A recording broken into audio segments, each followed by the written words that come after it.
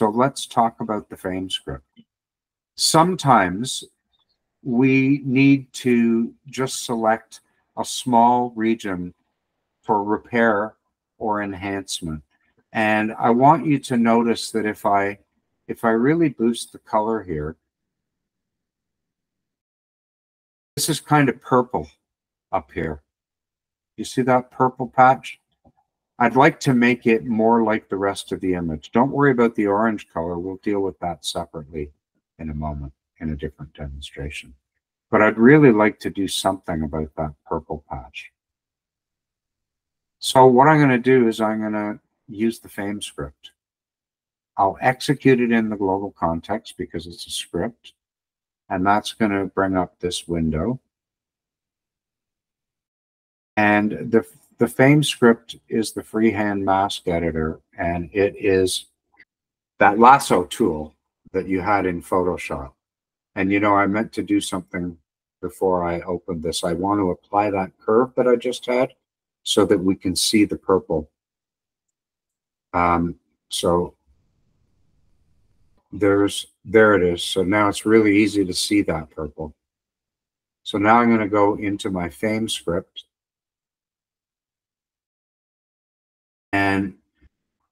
We can really see the purple over here now. There's instructions in the left top box. You can use a brush, a spray can, ellipse, or a rectangle but what the magic is with this tool really is the freehand shape tool. And I'm going to just hold the shift key and start drawing my freehand shape.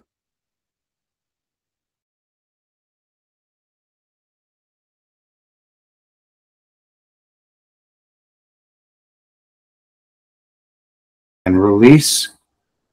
Now I'm going to set a blur amount usually around 50 to 75 is pretty good.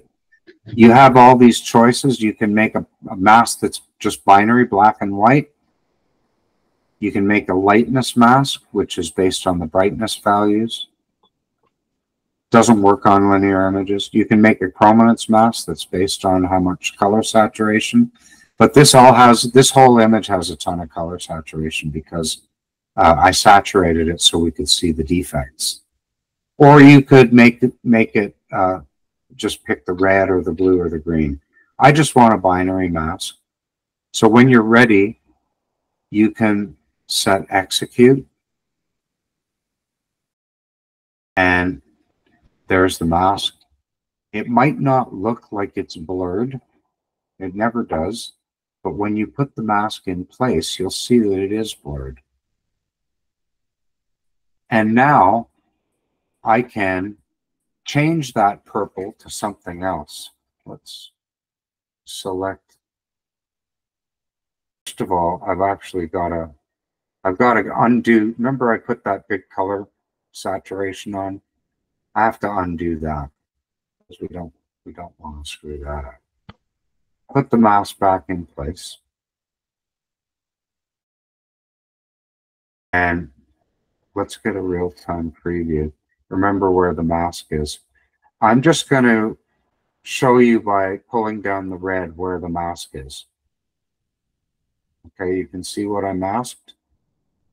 So now let's reset it and see if we can adjust the, the blue a little bit. So I'm going to go in here and measure how blue it is. You see the line that's appearing. There's a line that's appearing in the tool that's kind of where I want to pull it down a little bit. And you see how it turned green there? I have to bring the curves back up, both above and below, and then make it so that it's just not visible. And I can add more saturation so I can see better. That's made that really red. Let's reset it.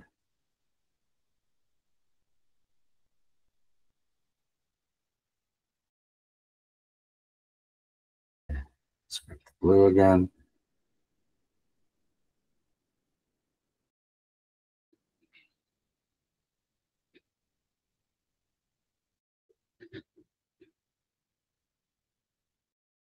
And you might have to mess with more than one color channel. There we go. So I have to take the red and the blue down a little bit. Now I can release the saturation. I didn't really want to change that.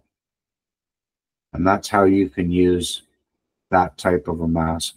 Also very useful for dealing with uh, defects due to uneven field illumination that's left over after flat correction.